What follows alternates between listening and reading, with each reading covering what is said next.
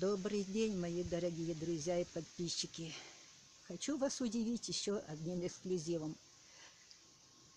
Вот на моем кампсисе в этом году повторно, стану, не пойми, повторно за всю жизнь этого кампсиса у него появились стрючки, семена. И причем в этом году уже не один стручочек, а четыре.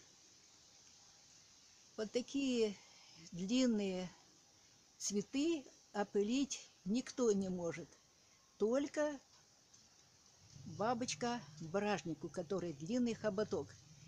Вот вчера их было так сколько много летало, я вам показывала уже ее. Э, ближайший куст от э, этого моего кампсиса находится э, ну, метров пятьсот, а то и больше. С полкилометра точно. Далеко.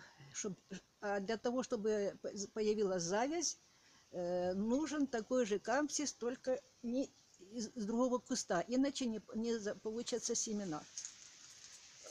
Вот сосед только что... Ой, сейчас зацепилась за розу. Вот еще, видите, сколько это второй. Там вот, не знаю, что видно, аж вон выше, выше есть на средней ветке третий. И у соседа, вон где-то, аж там, там где-то еще один стрючок, вон висит. Ребята, это большой эксклюзив. Так, просто кампсис или тыкома семена не завязывает так как видите, что у них длинные цветочки, горлышко длинное, и не каждая бабочка его может опылить. Ну вот, только что мне сосед рассказал, что у него в прошлом году на, за его территорию, на его территории, за забором, был такой стрючочек один, он его по, посеял, и в него уже проросли. Представляете, что уже не только он размножается пасынками, паганами, которые он гонит. Вот, вот тут, вот сколько у него тут есть уже.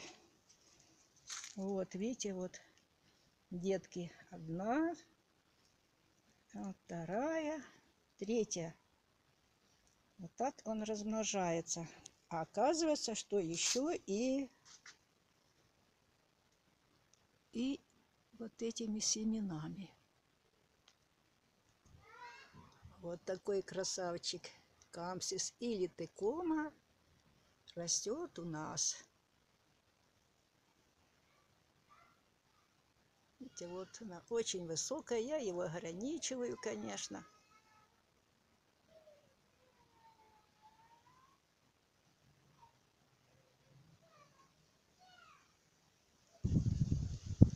Закончу свое видео вот таким красавчиком амарантом который был давно уже, я показывала в самой весны, как он потихонечку рос. Здесь кандык внизу растет, а он сверху разросся. Вот. Так что, кому интересно о кампсисе, пожалуйста, задавайте вопросы, я вам расскажу. До свидания. Заходите в гости, комментируйте.